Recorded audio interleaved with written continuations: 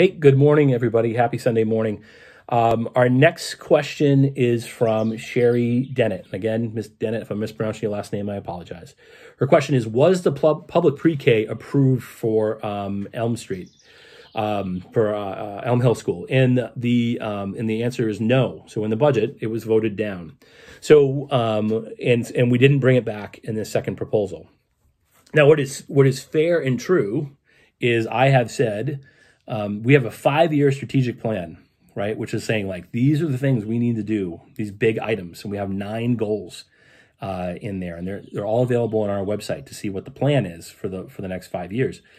And um, one of those goals, goal number one, is to create a therapeutic pre-K option, not for every student in Springfield, but for um, for a chunk of students in Springfield. So it is true that eventually, I have said, and I think this is true, over the course of the next five years, we're going to try to find a way to come back with a proposal that the community believes in um, and structure it in a way that the community can back because we believe it is in the best interest of the long term mission of the district um, to do so. Now, we are not bringing it back in this proposal, it is dead for this year. Uh, and I'll be honest, I think that's a shame. I think it's a, I think the proposal was designed. It was going to be hard because we're going to move some grades, um, but the proposal overall, in terms of what we're spending and what the services that we were providing, was specifically designed to help out some of our at the earliest grades, help out some of our kids in the most need, so we don't have to send them out of district to very expensive placements.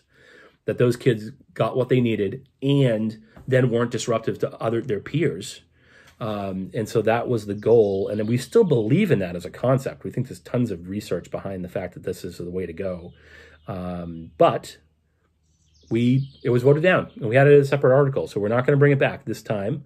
Um, I'm not sure if we'll bring it back in the you know when we get into next year's budget conversation or if we're a whole nother year out.